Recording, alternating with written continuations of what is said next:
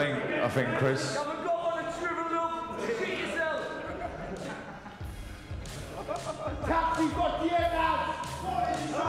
So 10 rounds Saturday night for the English heavyweight title. Solomon Dakers and Robert Ismay. Somebody walks home with the belt. Third fight of the night live on DAZN. Spicy. Wow.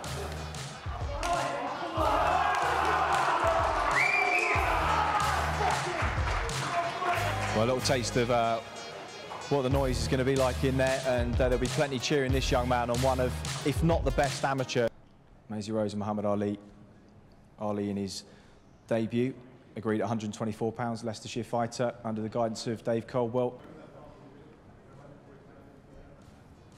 Was talking to, to Callum earlier. Yeah. And he was saying about the dream one day fight at St James's Park. Can you imagine?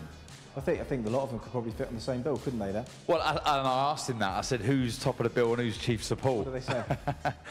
I think they said that it'd be a joint Yeah. top of the bill. Four co-mains. yeah.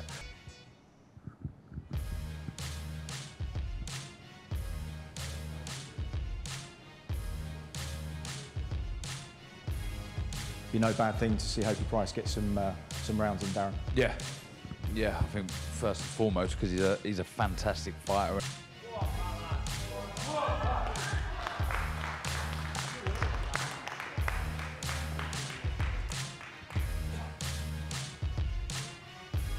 So a really good test this for Pat McCormack. His first eight round of schedule. Can Dario Socci take him the distance in our chief support in Newcastle? Thanks very much, Pat, on Saturday night live uh, on DAZN. And that will set the table very nicely indeed. The first major step up for uh, Newcastle, Cyrus Pattinson is in against the former British and Commonwealth champion, Chris Jenkins. Uh, tomorrow at one o'clock, all of our undercard fighters will be hitting the scales and facing each other for the final time before Saturday night.